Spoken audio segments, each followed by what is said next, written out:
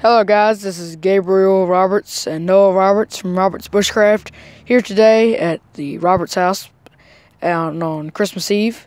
And I'd just like to take a few moments today to share with you the story of the birth of Jesus Christ, our Savior. And we'll begin in uh, Luke chapter 2, verse 1 through 20. And again, this is the birth of Jesus. And it came to pass in those days that there went out a decree from Caesar Augustus that all the world should be taxed. And this taxing was first made when Cyrenius was the governor of Syria. And all went to be taxed, every one into his own city.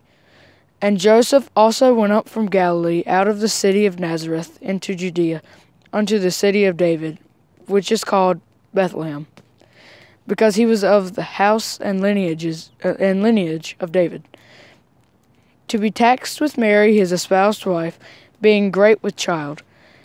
And so it was that while that while they were there, the days were accomplished that she should be delivered.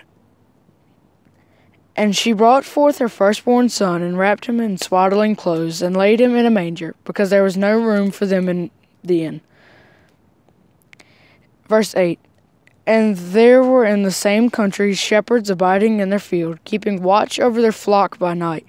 And lo, the angel of the Lord came upon them, and the glory of the Lord shone round about them, and they were sore afraid.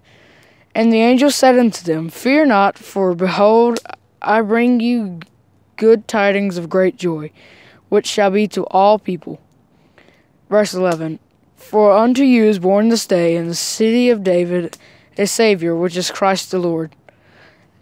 And this shall be a sign unto you. Ye shall find the babe wrapped in swaddling clothes, lying in a manger. And suddenly there was with the angel a multitude of heavenly hosts praising God, and saying, Glory to God in the highest, and on earth peace, goodwill toward, toward men. Verse 15 And it came to pass, as the angels were gone away from them into heaven, the shepherds said to one another, Let us now go even into Be- even unto Bethlehem, and see this thing which is come to pass, which the Lord hath made known to us. Verse 16 And they came with haste, and found Mary and Joseph and the babe lying in a manger.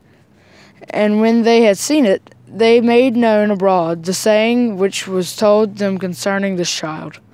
Verse 18 And all that they heard, and all that they heard, it wondered at those things which were told them by the shepherds.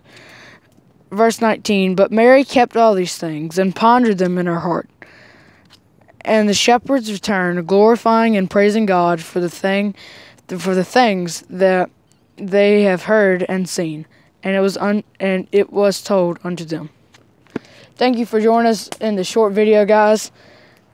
I hope you have a Merry Christmas um, from all the Roberts family, and uh, we'll see you in the next video, guys. God bless. God bless. Merry Christmas.